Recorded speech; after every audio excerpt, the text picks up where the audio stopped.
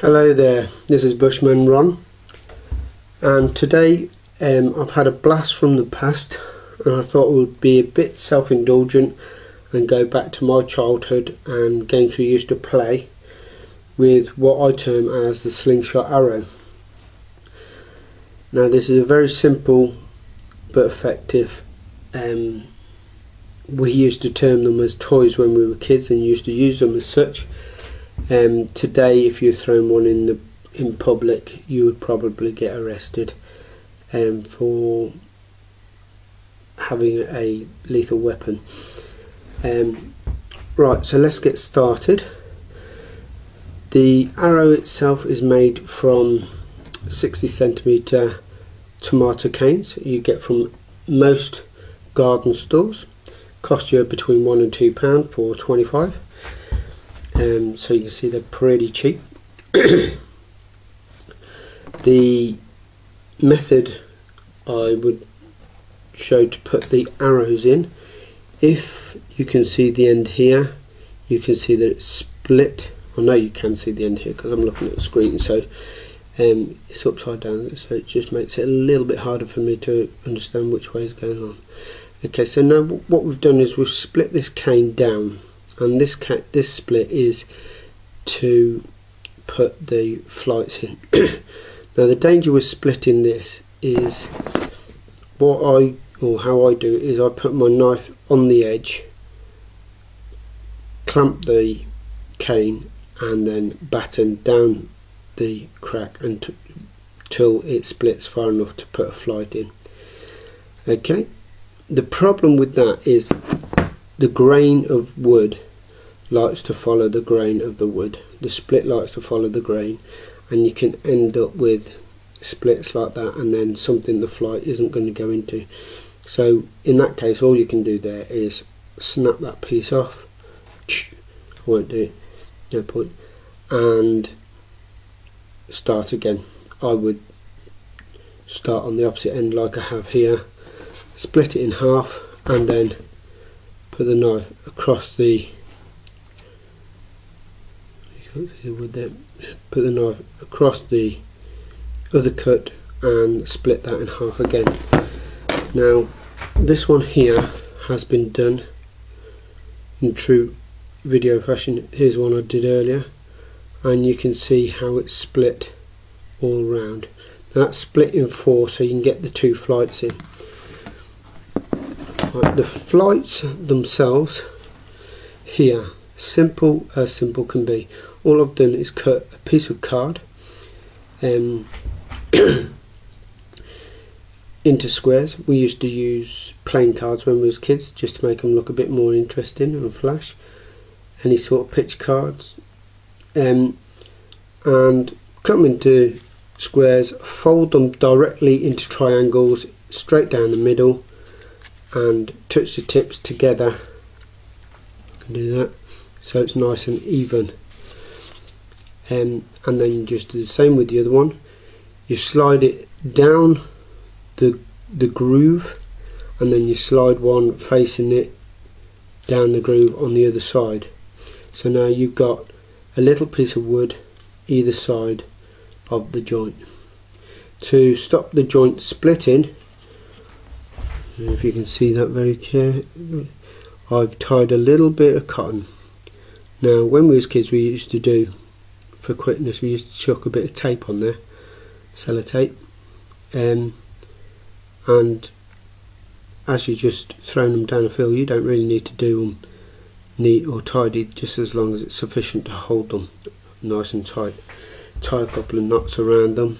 Again knots you can find 10 to a dozen. I just used two knots granny knot if you like to call it on the ends and that was it end of story done. Um, the next stage to this would be to sharpen the tip.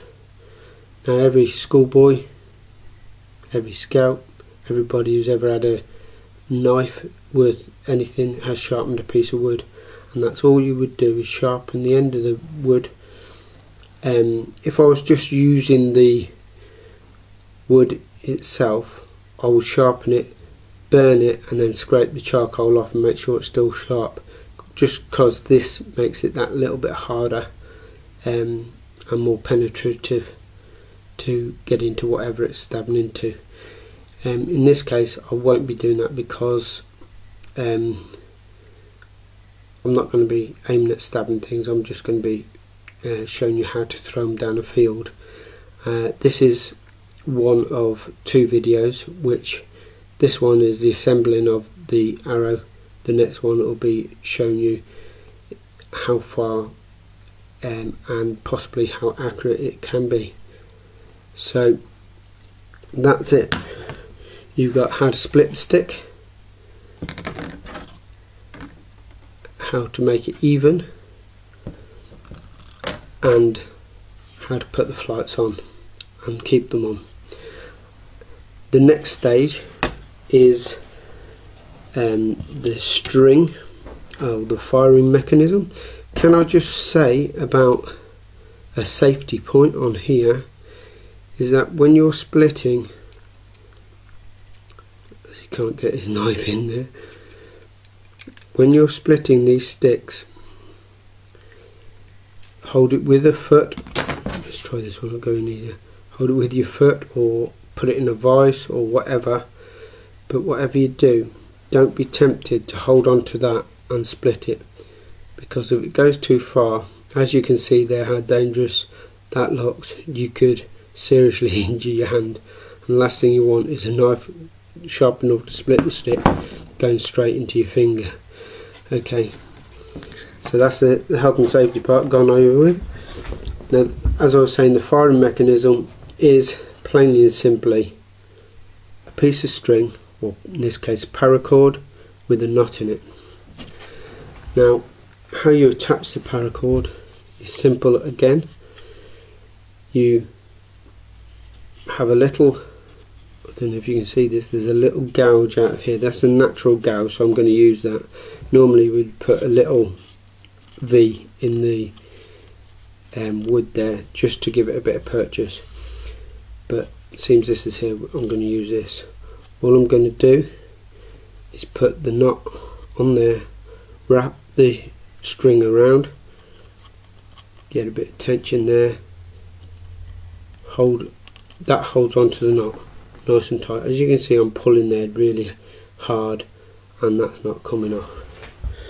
Now my firing mechanism as you can see has uh, my first attempt of a monkey's fist on it which is quite good for holding on to but I'll also wrap my fingers around it like this if I'm in vision like this and then hold on to the stick like that. Now that is your throwing mechanism and all you do is throw it as if you would throw a stone. Obviously keep hold of the cord and once the arrow is released if I can do this correctly the arrow goes by, the tension comes off the string, it lets go, lets go and the arrow is released. Now this method is or reminds me of the aboriginal throwing stick which means that you could throw the stick but it would go about 10 feet. Yeah but because you have the 18 inches or so of stick that you're throwing that makes that almost like 10 times as strong. So you're talking 100 feet at least. Yeah. And then you you can throw as a boy you of 13 I was throwing these 100 meters. Um,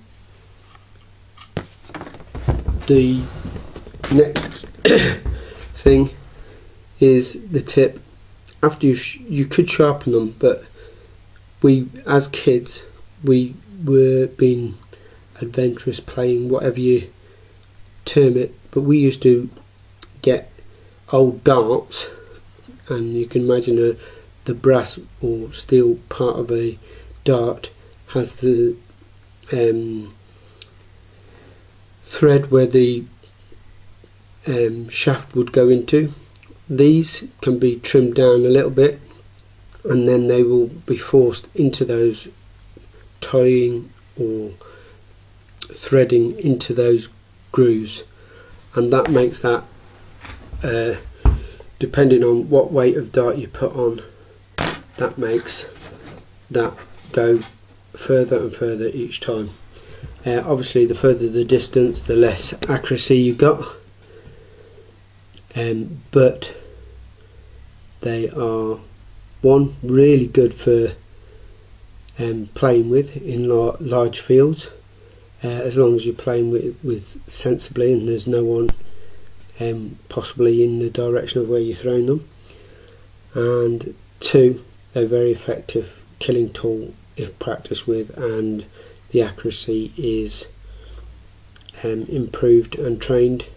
You could kill rabbits pheasants um, depending on how good you are pigeons. Um, but the as I said before this is a two-part video and this is the first part and I'm now going to go off and throw them and see just how accurate they are and what sort of distances you can get out of them. So for now this is Bushman Ron signing off. See you soon. Bye bye